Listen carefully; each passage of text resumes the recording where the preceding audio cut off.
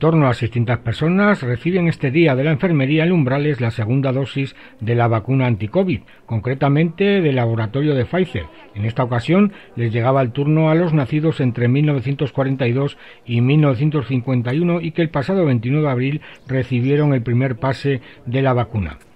Este era un día, por tanto, especial para las enfermeras de la zona básica de salud del Umbrales, una fecha que conmemoraban con un minuto de silencio llegada a las doce del mediodía en recuerdo de todos los sanitarios fallecidos durante la pandemia, pero en especial de uno de sus compañeros que perdía la vida en un accidente el pasado mes de septiembre en el ejercicio de sus funciones como enfermero.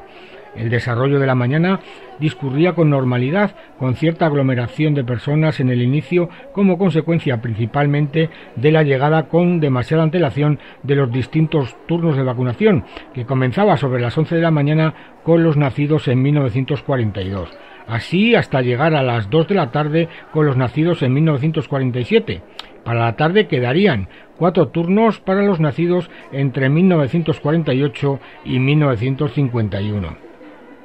Como días anteriores, el excelente trabajo del equipo sanitario y la colaboración de los bomberos del Umbrales hizo que la jornada de vacunación se desarrollara de forma satisfactoria y sin mayores incidentes que un ligero retraso en el inicio como consecuencia del trabajoso proceso que requiere la preparación de las dosis de Pfizer. De este modo, los vecinos de los municipios de Aigal de los Aceiteros, Bañovares, Bermellar, Cerralbo, La Fregeneda, Fuenteliante, Hinojosa de Duero, Lumbrales, Olmedo de Camaces, La Redonda, San Felices de los Gallegos y Sobradillo dan un nuevo paso para alcanzar la llamada inmunidad de rebaño y que permitirá recuperar parte de la normalidad perdida por la pandemia.